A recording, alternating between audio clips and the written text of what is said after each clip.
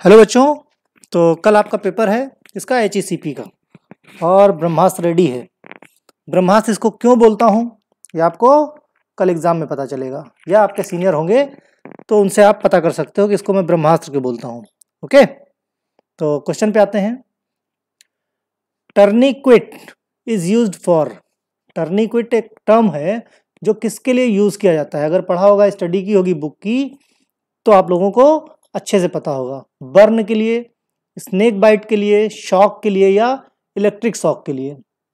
तो किसके लिए यूज़ किया जाता है टर्निक्विट। तो टर्निक्विट यूज़ होता है स्नेक बाइट के लिए, ओके? मेल स्टरलाइजेशन को क्या बोलते हैं? ट्यूबेक्टोमी, इम्प्लांट, वेसेक्टोमी या all? Male sterilization, tubectomy, implant, vasectomy. तो वास्ट डिफरेंस कट होता है तो vasectomy means male sterilization, tubectomy, हम ऑलरेडी फीमेल स्टरलाइजेशन ठीक है? तो यानी कि सी ऑप्शन करेक्ट है। Second generation IUDs are based on copper ड्यूट्यू जो सेकेंड जनरेशन की इंट्रा यूटराइन डिवाइस होती हैं, वो कॉपर बेस हैं, क्यों? उनके क्या एडवांटेज हैं? मींस बेसिकली क्यों क्या आता है? Easier to fit low incidence of side effect strong fertility effect तो किससे? मेन क्या है? इसमें आंसर आपका होगा ऑल ऑफ़ द एबब क्या होगा? All of the above fit भी इजियर होगा, लेकिन जब बात स्पेशली सेकेंड जनरेशन की की जाती है सेकेंड जनरेशन की आईओडीज की कॉपर की तो सबसे जो मेन आंसर क्या है? स्ट्रॉन्ग फर्टिलिटी इफ़ेक्ट अगर इसमें नन की जगह डी में ऑल ऑफ़ द एबब होता ऑल ऑफ़ द एबब होता तो आंसर क्या होता? ऑल ऑफ़ द एबब लेकिन यहाँ पे नन है। It means easier to fit low incidence of side effect यानी साइड इफ़ेक्ट बहुत कम है। फिट इजियर हो सकता है। हॉस्पिटलाइजेशन की ज़रूरत नहीं पड़ती है। अब क्या करना है आपको? यहाँ पे ये थोड़ी ढूंढना है कि नन हम नन लगा देंगे या ऑल ऑफ़ द एबब क्यों नहीं है? लड़ नहीं सकते आप। ठीक? तो यहाँ पे फिर अब आपको देखना है, इन तीनों ऑप्शन में सबसे अप्रोप्रिएट क्या है? भाई, सबसे अप्रोप्रिएट का मतलब क्या? आईयूडीज मेन आईयूडीज का ऑब्जेक्ट क्या है? मेन आईयूडीज का ऑब्जेक्ट क्या है? ऑब्जेक्ट क्या है? मेन है कि फर्टिलाइजेशन को रोकना। तो मेन का स्ट्रॉन्ग एंटी फर्टिलिटी इफ़ेक्ट होता है किसका? कॉपर का। इसीलिए कॉपर की बनाई जाती है, ठीक? यानी सी ऑप्शन हमारा सही है।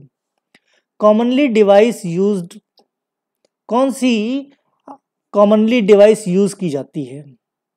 कॉपर सेवन होती है या कॉपर टी 220 सी होती है या टी कॉपर 380 और नोवा टी होती है। तो देखो ये इंफॉर्मेटिव ज़्यादा है मल्टीपल चॉइस कम है। इसीलिए मैंने चारों कॉपर सेवन भी यूज़ की जाती है कॉपर टी 220 सी भी यूज़ की जाती है। उसका क्या है? ब्रांड है। टी कॉपर थ्री एट्टी भी की यूज़ की जाती है और नोवा टी भी यूज़ की जाती है, यानी कि ये सारे के सारे आंसर करेक्ट हैं। अब देखो, अभी सेकेंड जनरेशन की बात हो रही थी, अब third generation IUDs are based on use of hormone इसके पहले हमने कौन सा? हमने मैकेनिकल देखा, ये थर्ड जनरेशन कौन सा है? हार्मोन बेस्ड है। हम पहले भी इसके बारे में बात कर चुके हैं। तो progesterone third third generation progesterone रहेगा। और लिवोनोजेस्टेरॉल, या ए एंड बी दोनों ए एंड सी दोनों है या नन है। अब जहाँ पे बी में ए एंड सी लिखा है एग्ज़ाम में बोथ लिखा जाएगा। बी है बोथ ऑफ़ द एबब कई केस में प्रोजेस्टेरॉन ए की जगह बोथ ऑफ़ द एबब लिख जाएगा। इसका मतलब उसमें दो जो सही हैं, वही कहने का मतलब उसका है। एग्ज़ाम में ये ए बी सी डी कभी देखते हो? अगर आप, मैं ऑल ए पे लिख देता हूँ, कभी all of the above C पे लिख देता हूँ, कभी ये पैटर्न आपको एग्ज़ाम में मिलेगा। तीनों शिफ्ट के पेपर अलग अलग होंगे, ध्यान रखना।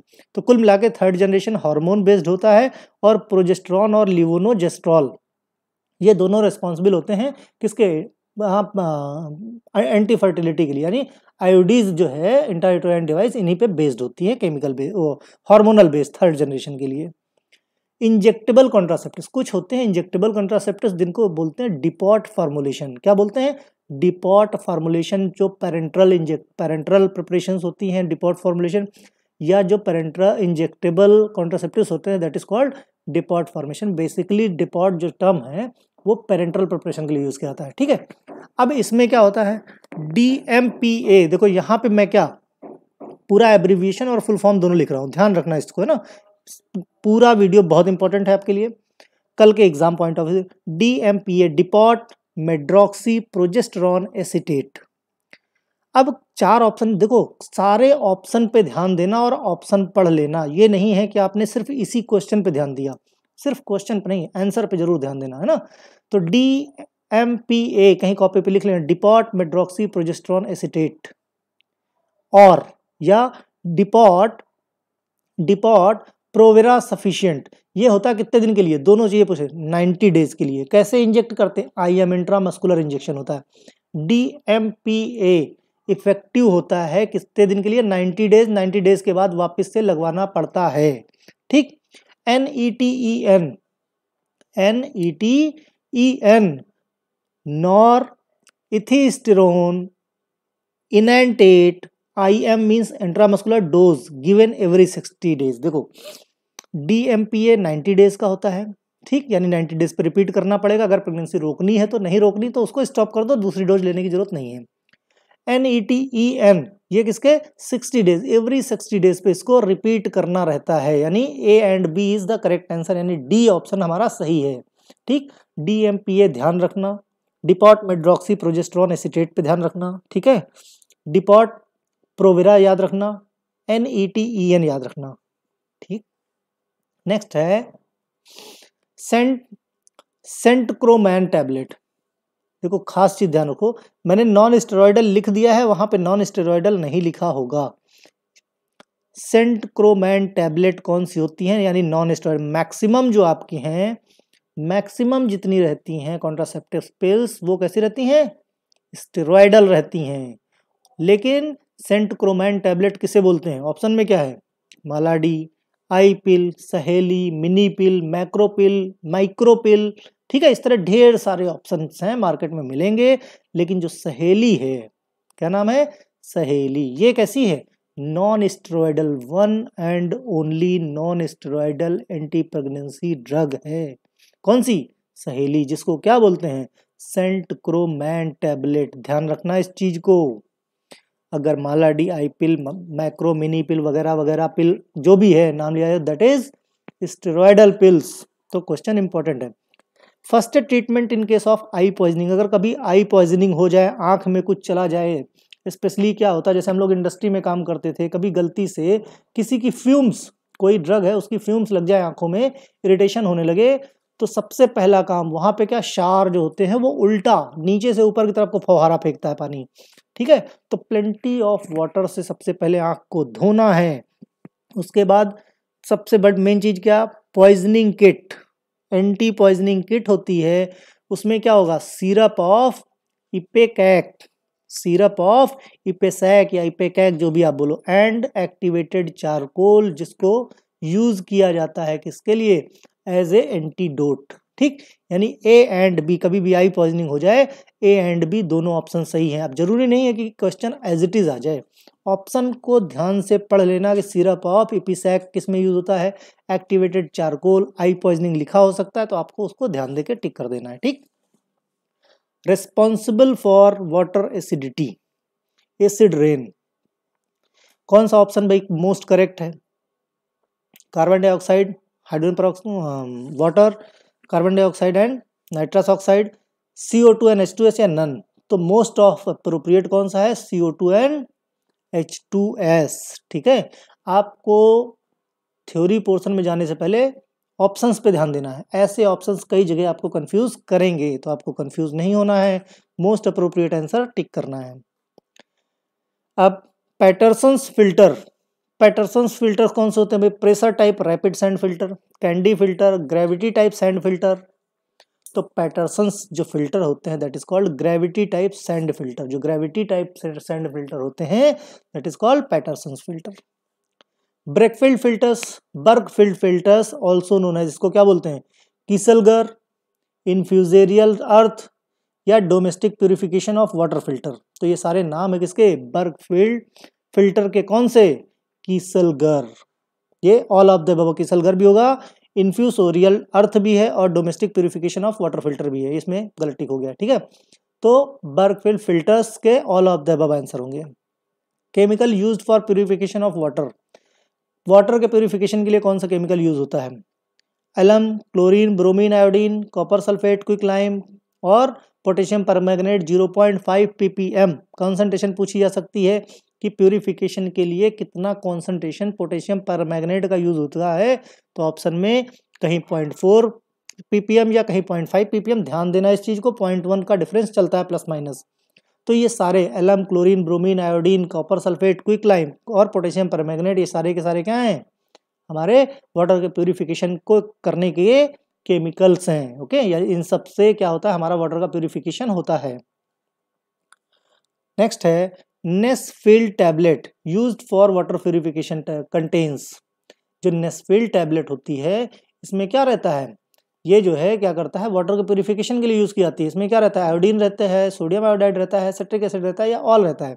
तो आयोडीन सोडियम आयोडाइड और सेट्रिक एसिड ये तीनों कॉन्सेंट्रे कंटेंट रहते हैं किसमें? नेसफिल टैबलेट में फॉर वाटर प्यूरिफिकेशन राइट यानी ये सारे आंसर सही हैं। एयर डिसइंफेक्शन एयर डिसइंफेक्शन कैसे करते हैं भाई? यूवी रेडिएशन से कर सकते हैं।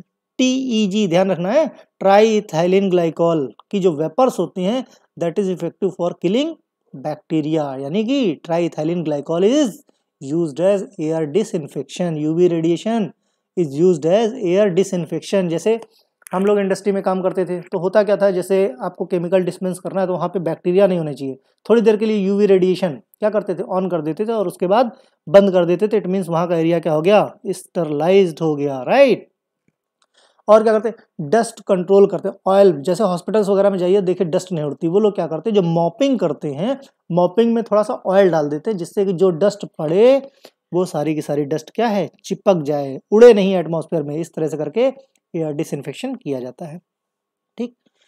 टिक। टिक ऑर्थोपोड होता है। टिक ट्रांसमिटेड डिज़ीज़ कौन कौन सी होती है भाई? Rocky Mountain spotted fever tick typhus fever Q fever या ऑल तो टिक ऑर्थोपोड ट्रांसमिटेड डिज़ीज़ होती है। रॉकी माउंटेन स्पॉटेड फीवर ये सारी की सारी क्या है? Transmitted by tick. And tick is arthropod arthropod इसलिए लिख दिया कि वहाँ टिक आ जाए और आप ढूंढते रहो कि सही हो, गलत का टिक तो नहीं है इसमें। सैंड फ्लाई किसको ट्रांसमिट करती है? कौन सी डिज़ीज़ सैंड फ्लाई फीवर होता है ओरिएंटल सोर फीवर होता है, काला आजार होता है। काला आजार वैसे भी ट्रांसमिटेड बाई सैंड फ्लाई है and sand fly fever specially होता है ओरिएंटल सोर भी होता है। यानी ये सारे के सारे ऑप्शन सही है किसके लिए? Sand fly is the responsible for transmitted of all these diseases ठीक है? Scabies and pediculosis, mode of disease transmission. Scabies and pediculosis, mode of disease transmission क्या है भाई? डायरेक्ट कॉन्टेक्ट है। मैकेनिकल ट्रांसमिशन है, बायोलॉजिकल ट्रांसमिशन है या none है तो इसका बीज and pediculosis mode of transmission is the direct contact direct contact होता है तब डिज़ीज़ ट्रांसमिट होती है। Diarrhoea and dysentery mode of disease transmission diarrhoea and dysentery का मोड ऑफ़ ट्रांसमिशन कैसे होता है? मैकेनिकल डायरेक्ट बायोलॉजिकल ट्रांसमिशन या नन तो ये मैकेनिकल ट्रांसमिशन होता है डायरिया का डायरिया या डिसेंट्री का मोड ऑफ़ डिज़ीज़ कैसे होता है? मैकेनिकली मैकेनिकली ये क्या होता है? एक दूसरे में ट्रांस एक से दूसरे में ट्रांसमिट हो जाती है। Pediculus humanus is the lice infesting man क्या होता है भाई? पेडिकुलस कैप्टा कैपिटिस या पेडिकुलस कॉर्पोरिस या प्लोथिरस प्यूबिस तो आंसर इज़ सारे के सारे। याद कर लेना इसको। रेटस रेटस ये क्या है सारे के सारे?